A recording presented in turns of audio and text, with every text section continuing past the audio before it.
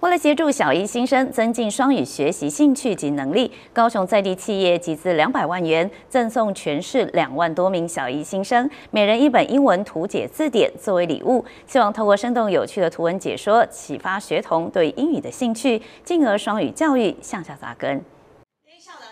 生动活泼的图片搭配着英文单字，这本英文图解字典让小朋友一翻就停不下来。跟外面的杂志看起来不一样，它很童趣，而且它很多图案可以让你就是看久会印象深刻，就马上记起来。不光是看图片学单字，利用词典上的 QR code 或是拿起触控笔点击图片，就能够马上上网学习，让学英文事半功倍。这本由高雄市在地企业共同集资两百万元购置的英文图解字典，将作为全市两万多名小一新生的开学礼物。我们一定要给孩子一个情境化，所以他会知道说，哦，在生活当中，我要吃东西，我要喝东西，我在家或者我自己在学校，各式各样的情境里面的生活用品有哪一些？然后再加上还有一个很棒的我们的句型，所以呢，单字再加上句型，生活化的对话，让孩子可以很轻松的入手。以高雄市的新生两万多位，每一位新生都会有一本，以这个教材。它又是可以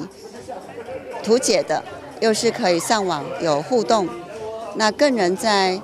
生活的情境中，以教材当中也是很多是生活情境的单字哈，而且不止单字，还可以是学绘画。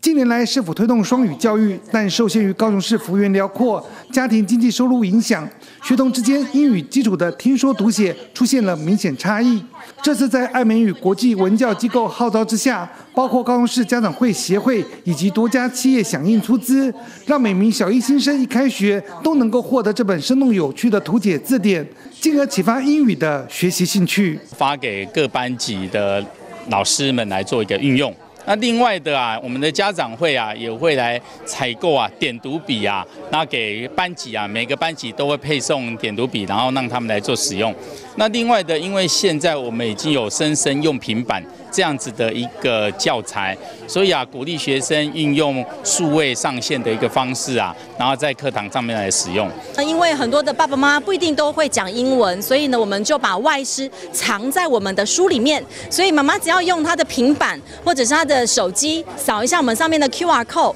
那我们的外师呢就跳出来跟他讲英文，所以这样是很轻松、很轻松的去学习的。除了赠送字典之外，爱美语国际文教机构也将研发的英语数位学习 APP 付费平台免费提供账号给部分学校，让学童在家里也能够上网学英语，期待借此提升孩子对于双语的兴趣及能力。